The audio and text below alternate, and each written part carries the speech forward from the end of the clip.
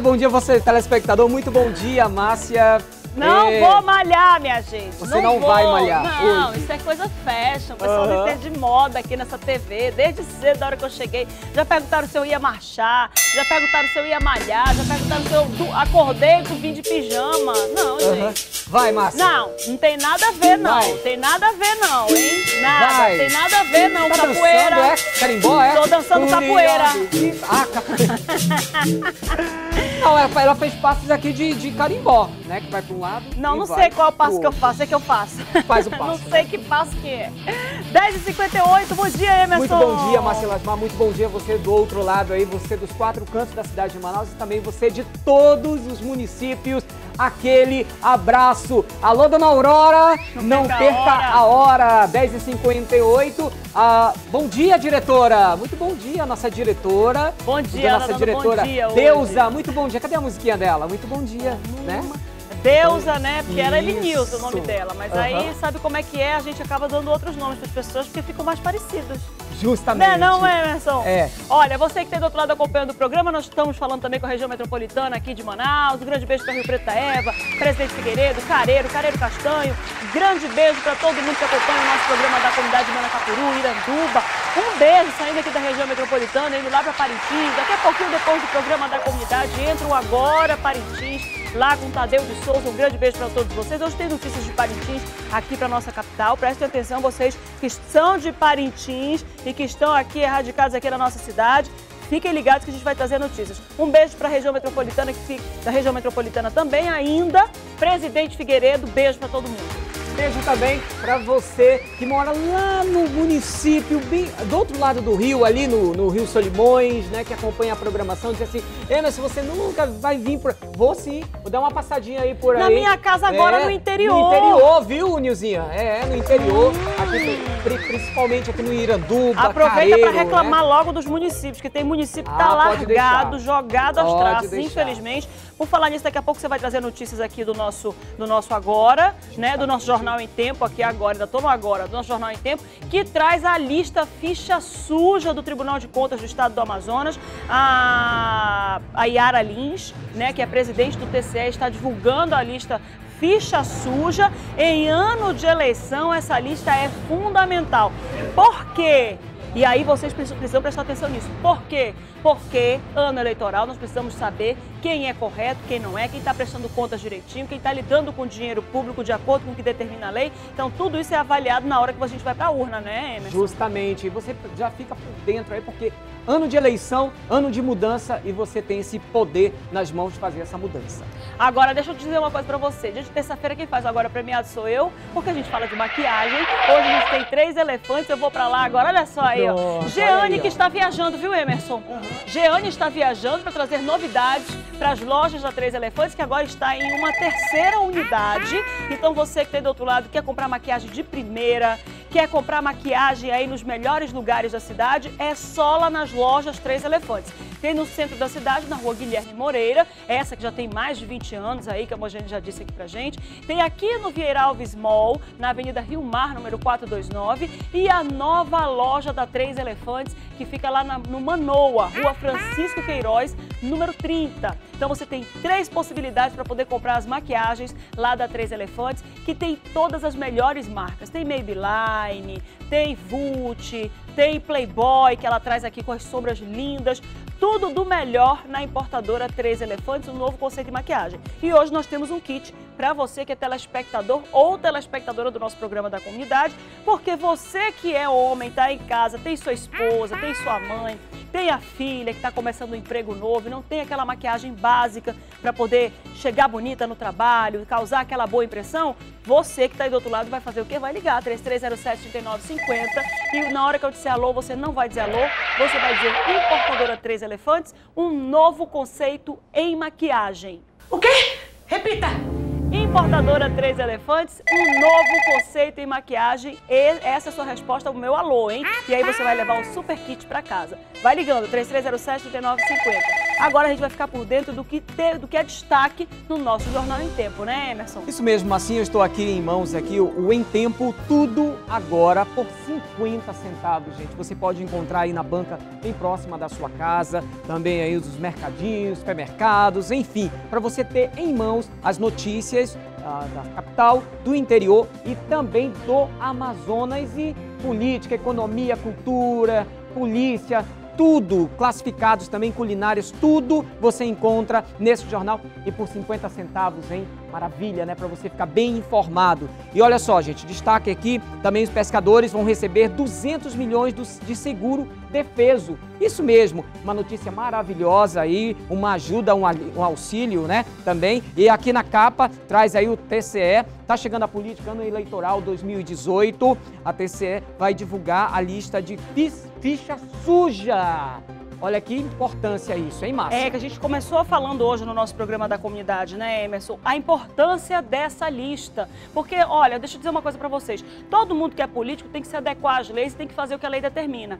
O, nosso, nossa lei de responsabilidade fiscal, de uso de recursos públicos, determina toda uma série de critérios para você poder usar o recurso público. Porque o dinheiro público ele tem que ter critério para usar e tem que ter toda uma legislação. Afinal de contas, políticos trabalham com nosso dinheiro para poder realizar as obras, realizar os feitos na nossa cidade, no nosso estado. Então, quando o Tribunal de Contas do Estado divulga uma lista que é a lista ficha suja, são aqueles políticos que não se adequaram, que usaram mal o dinheiro público, que desvirtuaram o fim do dinheiro público e aí agora eles fazem parte de uma lista ficha suja. Se eu tenho, ano, né? se ano, ano, ano eleitoral, da, você vai se ficar eu tenho, bem informado comprando o jornal em tempo e sabendo, né, quem está na lista negra. Exato. Né? Agora, se eu tenho aqui um comércio, eu sei que a pessoa está negativada nos órgãos de proteção a crédito, eu vou continuar vendendo a crédito? Não vou. Então a mesma coisa funciona. Se a gente está vendo que o político político não está cumprindo as determinações, a gente precisa não votar mais nele, né? É o no, nossa escolha é na urna. É a gente é que emprega eles, a gente é que demite também.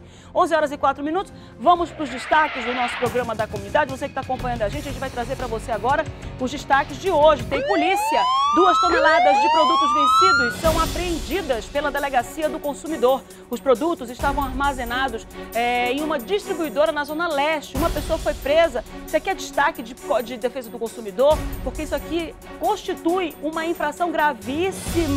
Isso aqui é saúde pública. Você pode matar uma pessoa com alimento. A gente tem o botulismo, que é uma bactéria gravíssima que mata em horas. E a gente está falando de produtos industrializados, de condimentos, de uma série de produtos vencidos. É destaque hoje no nosso programa da comunidade. Mais destaque também, notícia de polícia: 10 assaltantes armados invadiram dois sítios na BR-174 na noite de ontem. Dois caseiros foram amarrados durante o assalto. A polícia conseguiu efetuar a prisão de dois jovens e dois menores são apreendidos. Mais um caso de polícia que já já nós teremos todas as informações é, do que aconteceu ali nesse sítio, né? Essa, na, aqui na cidade, na capital. E ainda, homem de 31 anos é preso em flagrante na tarde dessa segunda-feira por tentar estuprar a filha de 7 anos. Foi dentro de um matagal no bairro Cidade de Deus, zona norte de Manaus. A menina conseguiu pedir socorro, se desvencilhar e a gente traz mais um caso de estupro. Ontem nós estávamos conversando com a delegada da Delegacia de Proteção à Criança e ao Adolescente, doutora Juliana Tuma, sobre isso. E mais uma vez a gente vê outra denúncia de pai irresponsável, pai que desvirtua completamente a figura de pai.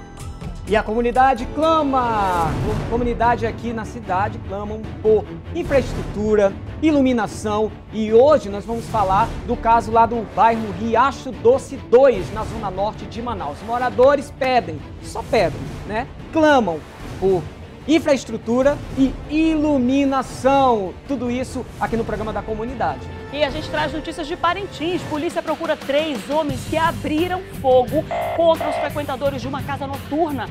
Duas pessoas morreram e outras ficaram feridas. É destaque da ilha que Tadeu de Souza traz pra gente. Você que está do outro lado acompanhando o programa da comunidade, não se esqueça que logo depois do agora tem Parintins aí na comunidade da ilha. Esse foi um dos mortos que a gente vai trazer para você aí as informações, ó. E é destaque hoje também da ilha Tupinambaranda. Tadeu de Souza vai trazer pra gente, inclusive esses procurados. Chega mais, chega, chega mais. Chega mais informações, alegria, sua participação, porque está no ar o programa da comunidade.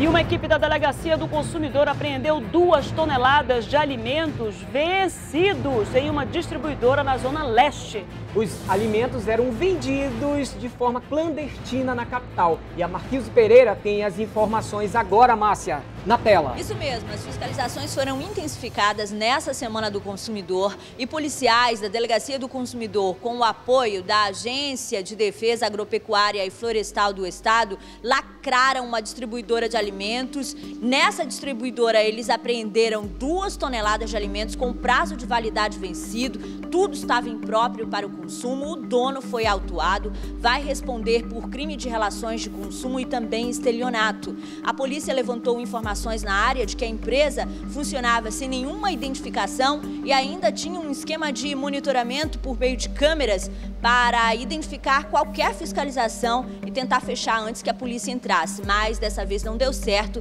e eles acabaram autuados. Eu volto com você no estúdio. Obrigada, Marquinhos. Márcia, há, há, há uma, uma, certa situação, situação que acontece lá pela Rua do Fuxico, ali na zona leste da, da cidade, que a venda, né, a venda de produtos mais em contas, mais baratos, a boca pequena diz que aquilo ali é produto roubado, produto falsificado. Agora, essa, esse, esse produto aí é um produto de consumo diário.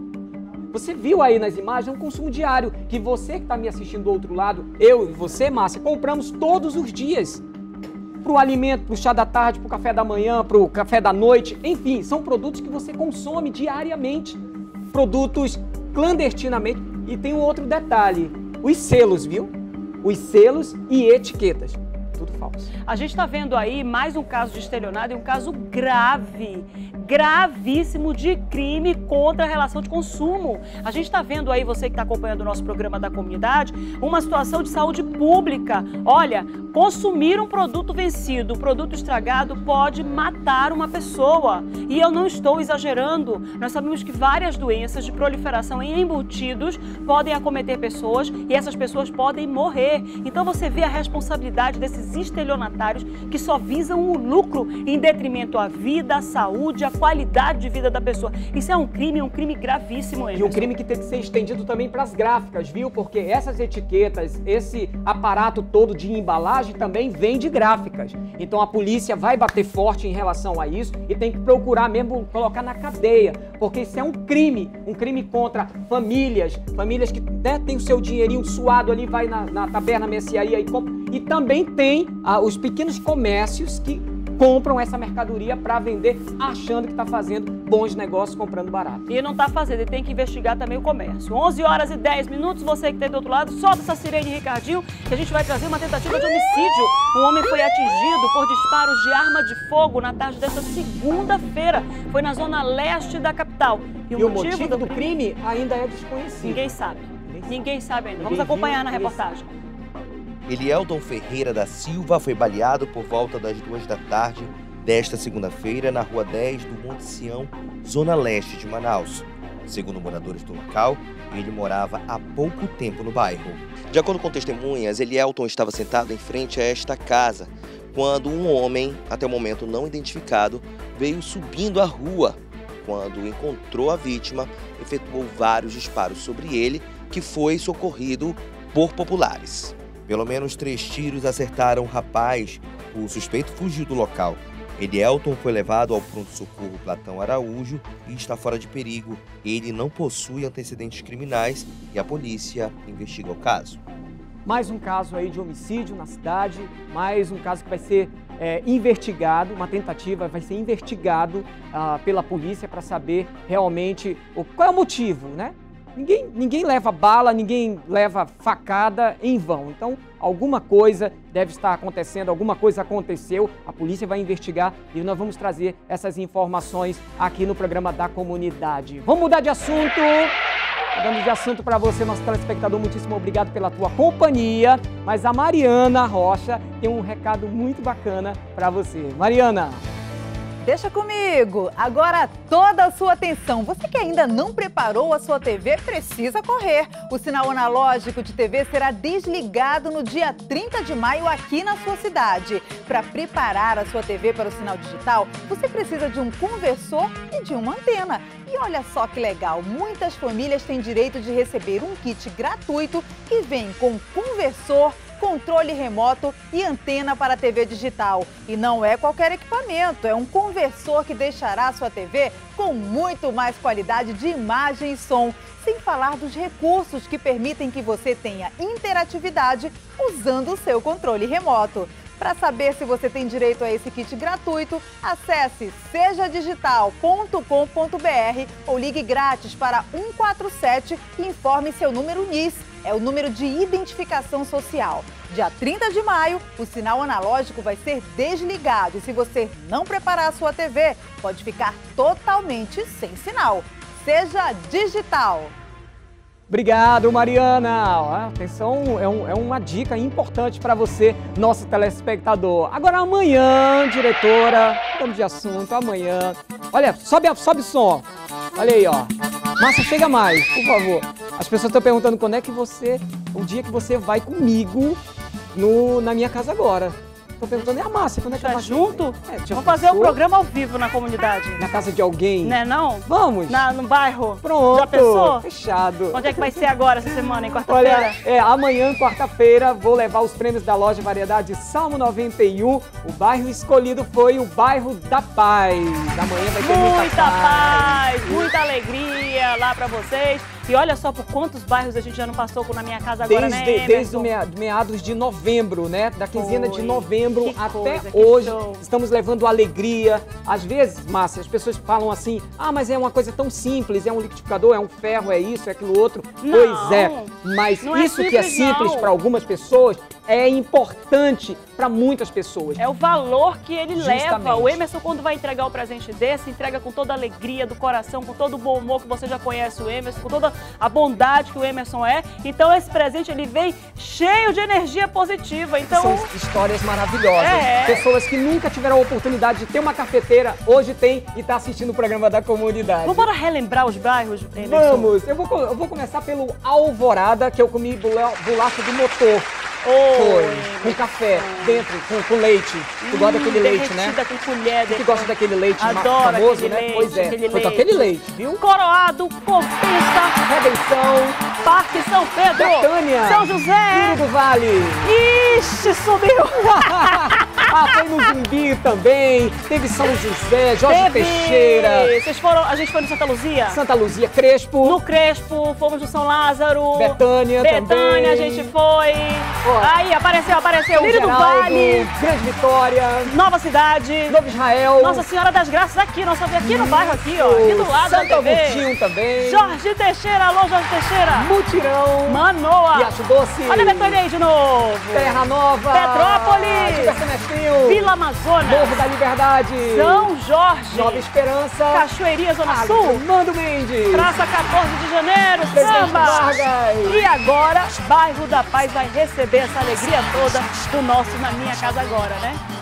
Tá cheirando. Nossa, Ele adora. cheiro daqui, Ele viu? adora, ele cheira a comida, ele come a comida. A pessoa, depois que o Emerson sai da casa, ele pergunta: Meu Deus, mas uma pessoa tão pequena acabou nossa comida. E agora, como é que a gente vai fazer o Não, almoço? daqui a pouco vamos chamar de acaba rancho, né? Acaba rancho, né, Emerson? Tudo Verdade. isso pra você que tá aí do outro lado, fica ligado que é quarta-feira. É isso mesmo, um grande abraço e amanhã eu tô ao vivo. Amanhã ao vivo lá, Ao né? vivo. Olha, você que tá do outro lado, são 11 horas e 16 minutos, a gente vai pro intervalo, né, Nilza? Daqui a pouquinho a gente vai trazer pra você, daqui a pouco você confere violência contra a criança. Uma menina de 7 anos foi estuprada pelo pai na tarde de ontem e a população Sabe o que aconteceu? Ó, deu uma peia. peia! Isso mesmo, é já já no programa da comunidade.